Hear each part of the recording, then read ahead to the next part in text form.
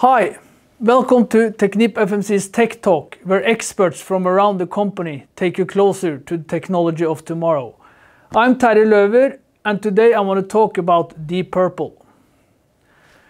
Deep Purple is all about empowering ocean energy systems with green hydrogen.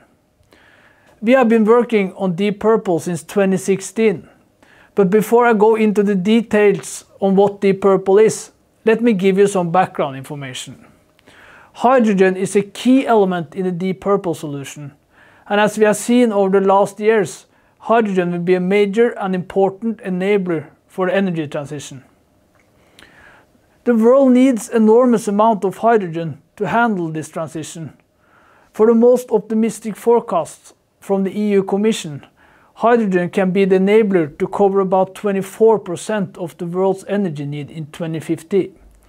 To enable this, large investment in infrastructure is needed. For renewable hydrogen in Europe alone, this can be up to 470 billion euro by 2050.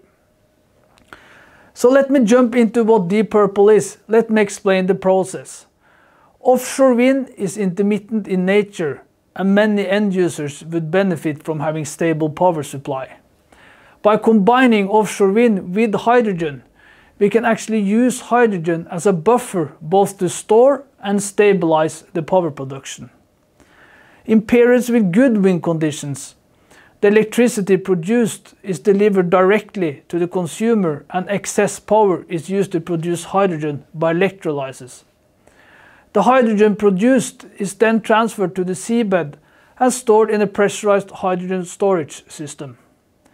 In periods with low wind conditions or no wind, the hydrogen is transferred back to the surface where it is converted to electrical power through fuel cells.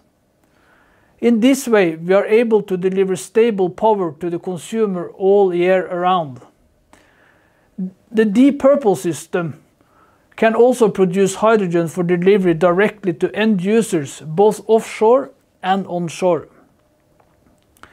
We are working on several market segments and applications for Deep Purple. All of them are linked to applications in the ocean space. One is for electrification of oil and gas installations. With this principle, we can deliver stable and renewable power to installations of different sizes enabled by this huge battery in the form of hydrogen at the seabed. Another important market is offshore large-scale hydrogen production, coupled with offshore wind farms. These wind farms can be either floating or bottom fixed. We will see that offshore hydrogen production has other characteristics than producing the hydrogen onshore.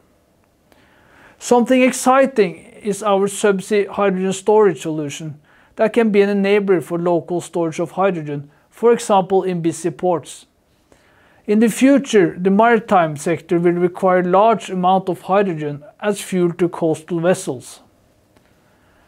Going subsea is a secure way to store hydrogen and also free up space on land.